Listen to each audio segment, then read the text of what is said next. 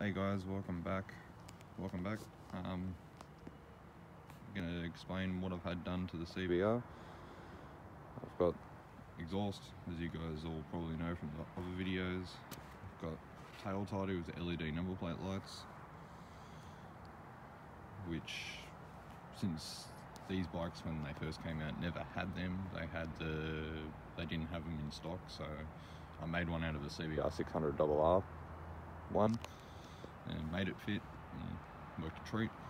I got the Dynojet fuel controller, little dress up bits like the grips, bolts, Sava M Racer tyres, which a massive amount of grip.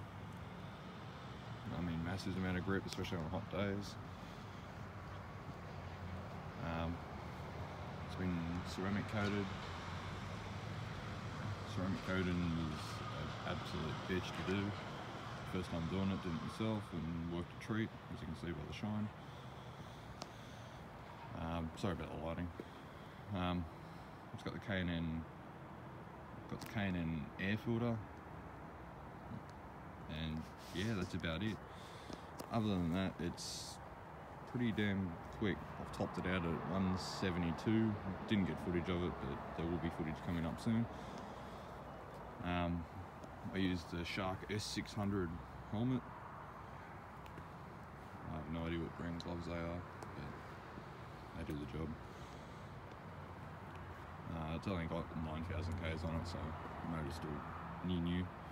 Had the crankshaft rebuild and crankshaft recall done uh, probably about 1,000 Ks ago, 2,000 Ks ago. Um, you can see, tyres cop a bit of a pounding, but hey, they did well on a track day. Um, that's about it. Hope you guys enjoy. Subscribe, like. Um, yeah.